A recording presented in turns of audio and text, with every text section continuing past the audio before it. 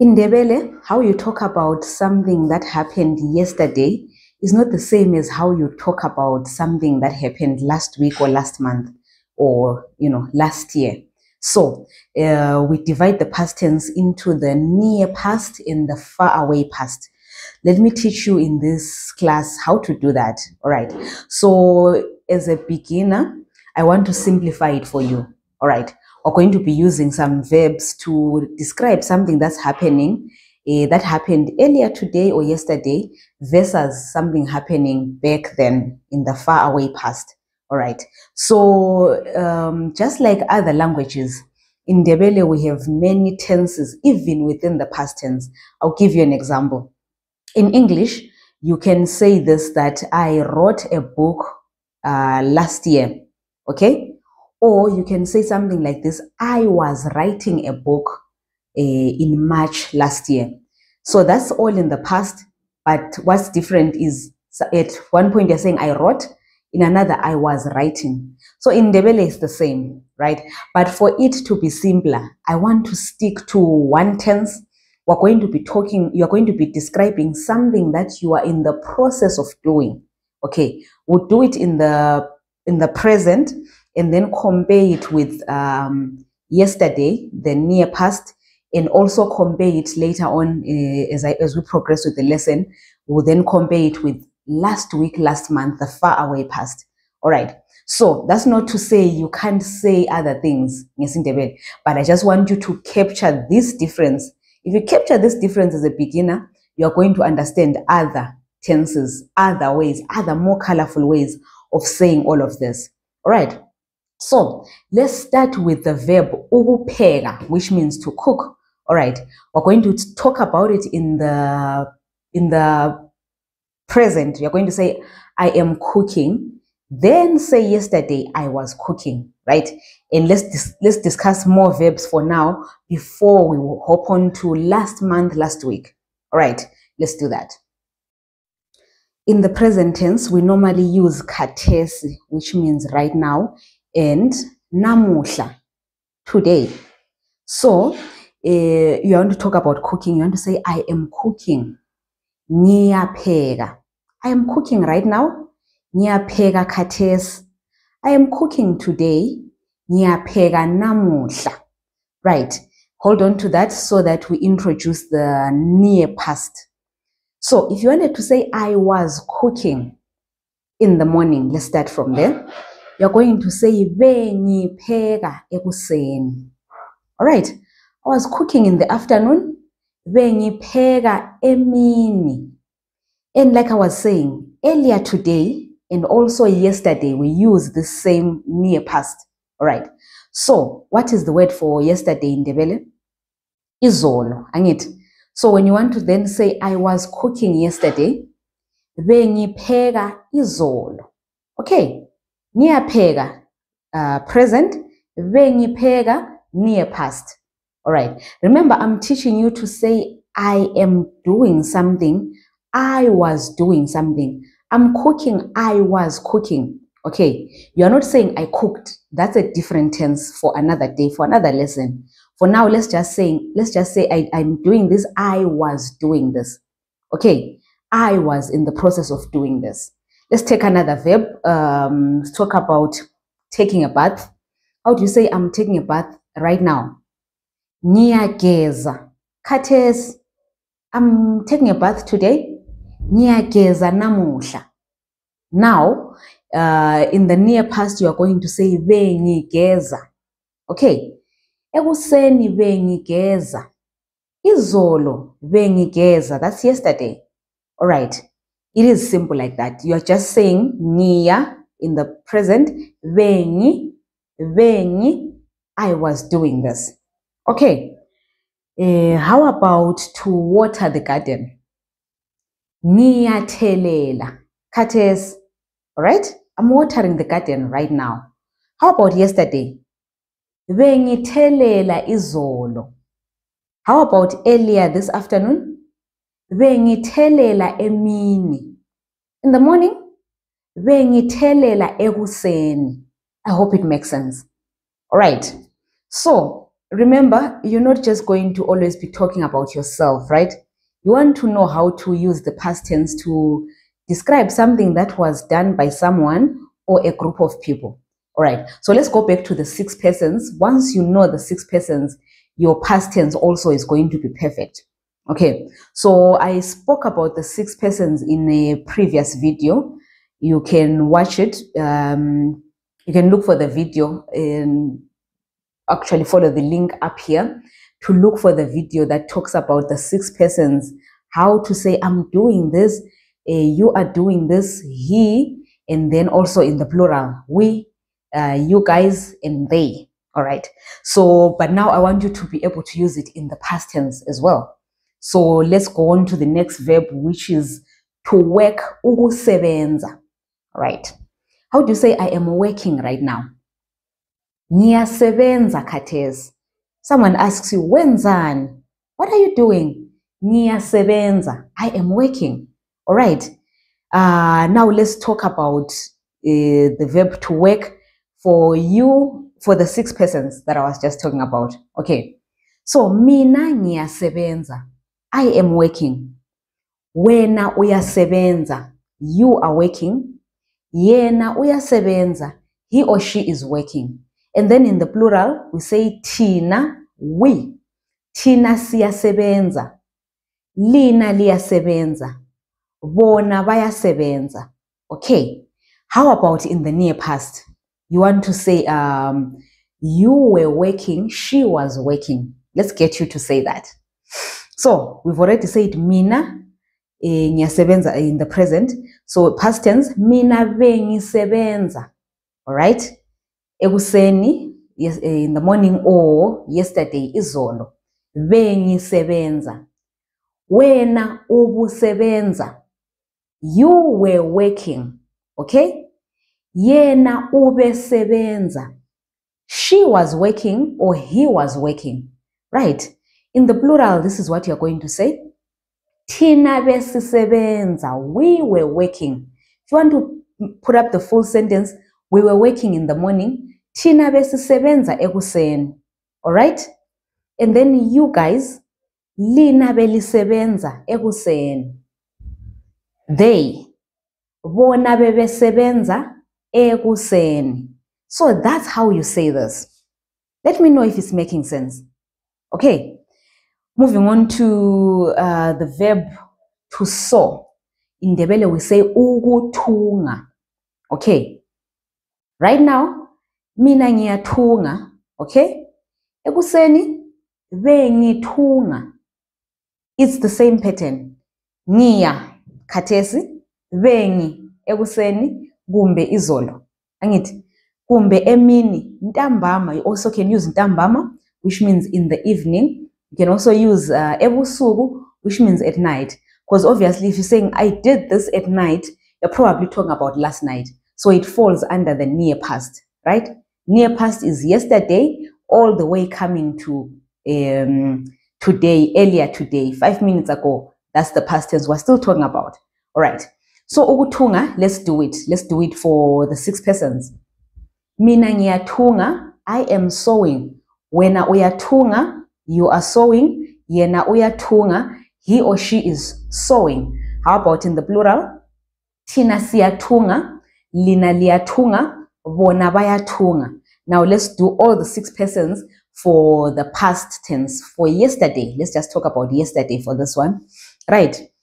You're going to say, um, mina bengithunga izolo. Wena ubuthunga izolo. Yena ubethunga izolo. He or she was uh, sewing yesterday. The plural, thina besithunga izolo. Lina belithunga izolo. And bona bebethunga izolo. Does this make sense? I hope it makes sense because I'm about to introduce the far away past. Now let's get into the far away past. We're going to use the verb ukugela, which means to cut, particularly the hair and other things, right? So ukugela, right now we are going to say ngiyagela khathesi. If you're talking about cutting your hair, once you say ngiyagela, we know you are talking about what? The hair. Okay, so you can say ngigela inwele or you can simply say ngiyagela. We will know you're talking about the hair. All right. So ngiyagela khathesi. How about I'm cutting my hair today? Ngiyagela namuhla. Right. Now, let's take it to the near past before taking it to the faraway past. Ekuseni bengigela. You now get the hang of it, right? How about izolo? Yesterday? Izolo bengigela. Same thing. Now, you want to say last week, I was cutting my hair. Last month. All right. Here's what you will say. Ngangigela. Ngangi is what you use for far away past when you are talking about something you're in the process of doing. Okay. Khathesi ngiyagela. Izolo bengigela. Ngeviki eliphelileyo ngangigela. Let me teach you some of the phrases we use for the far away past. The first one I just gave you already. Ngeviki eliphelileyo. Last week. Iviki is a week. Okay. Ngeviki eliphelileyo. The one that passed. All right. Then we move on to last month. You're going to say ngenyanga ephelileyo. You say what? hmm And what about last year? Ngomnyaka ophelileyo is how you say last year. So in all of these, guys, even if you want to use the month, the name of the month of the year, right? To say in uh, August, I was cutting my hair. it's ngangi. Okay if you want to use a day of the week let's say today is friday and you want to say on monday i was cutting my hair. Remember we are just concentrating on i'm doing this i was doing this. You're not saying i did this okay so uh, i'm cutting my hair ngiyagela on monday i was cutting my hair ngomvulo ngangigela okay Last week, we already said, ngeviki eliphelileyo ngangigela. Last month, I was cutting my hair. Ngenyanga ephelileyo ngangigela. I was in the process of cutting my hair. It's the longer tense, but it, it makes it easier for you to learn it first and then begin to learn the other ones. All right. Uh, what's the other one you could say? Uh, last year, I was in the process. This is something you can use when someone is asking you, where were you on this particular day? Maybe why didn't you take my call on this day? Why didn't I see you uh, on 13 March? Okay, why didn't you attend this on this particular day? Ngangigela. Angit, that's where you use this tense. That's where you use I was doing this. I was in the process of doing this. Good. Good if it makes sense. Good if it makes sense. Okay. the next verb, I don't know how to say it in English. I'm going to demonstrate it. Doing this with your eyes is called ukucwayiza. We say what? Ukucwayiza. All right, that, you know, closing and opening of the eyes. Uh, remind me of the English verb, please. If you know it, I've forgotten. But ngesindebele, ukucwayiza. Ukucwayiza. Right. Khathesi ngiyacwayiza. All right. How about uh, earlier today? How about if you wanted to say in the evening I was? Ntambama bengicwayiza. Are you managing to say cwa? Cwa. Okay? Eh, ntambama bengicwayiza. What about yesterday?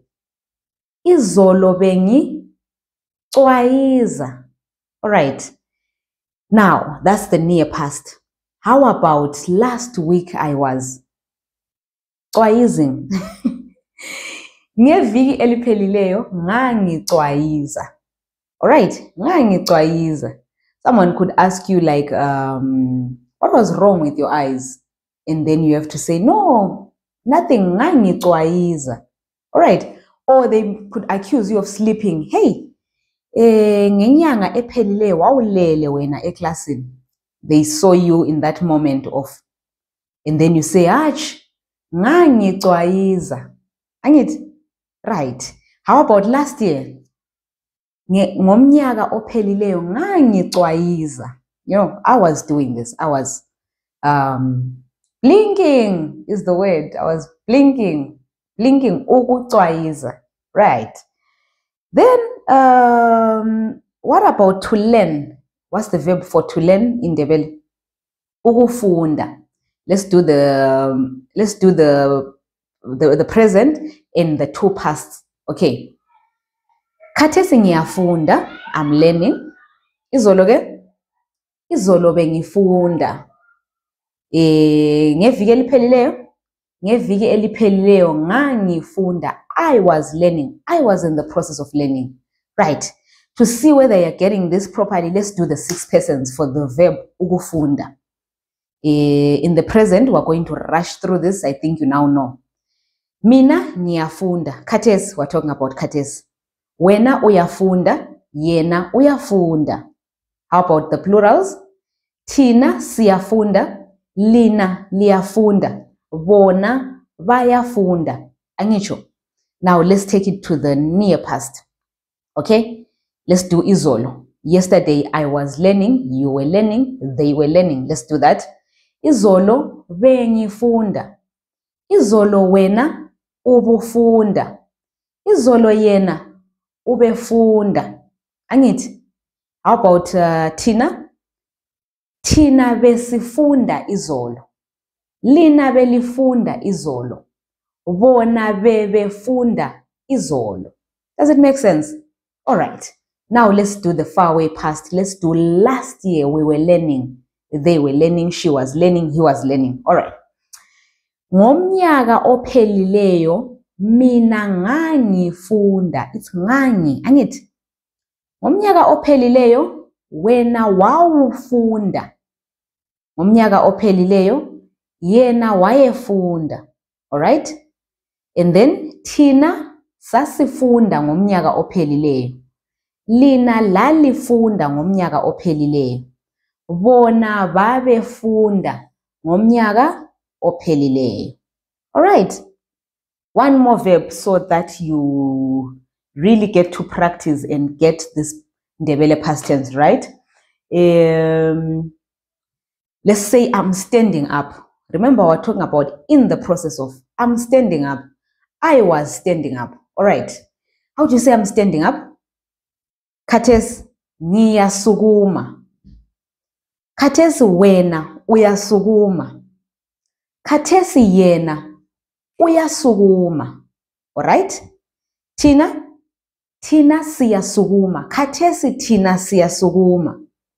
khathesi lina liyasukuma khathesi bona bayasukuma now past tense the near past first of all Eh, what if you wanted to say in the afternoon i was standing up okay Eh, she was standing up he was standing up let's go emini mina bengisukuma.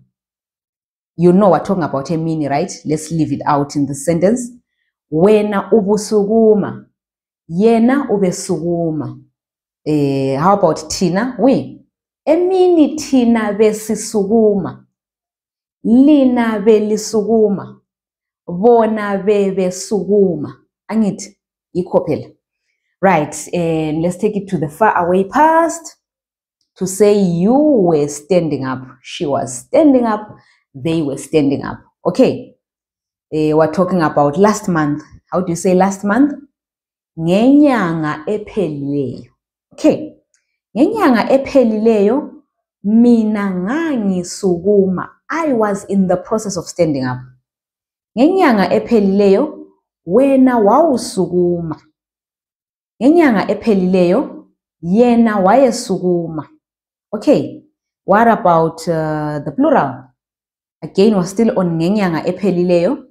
thina sasisukuma lina lalisukuma bona babesukuma angitsho phela this is the ndebele past tense for a beginner and i hope you you really got something so i will emphasize this uh, to really really get to speak in isindebele you need to start doing it immediately right because you could uh, get excited that you're catching something, you're understanding why we say this, how we say this. But as long as you don't use it, as long as you don't practice with all of this, you will forget. You will soon forget. You will be like, I knew this. I actually learned it. I followed this video or I did this lesson and I actually knew this, but now I've forgotten.